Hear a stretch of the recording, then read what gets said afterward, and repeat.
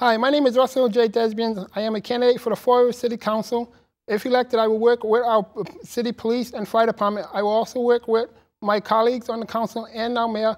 I will fight crime to protect our city and work on behalf of the waterfront. Uh, to have a, um, and also work for our children to have a better city to live in. So please, on Tuesday, September 13, I ask for one of your votes uh, for Russell Desbiens candidate for the Fall River City Council. Thank you, and God bless you all.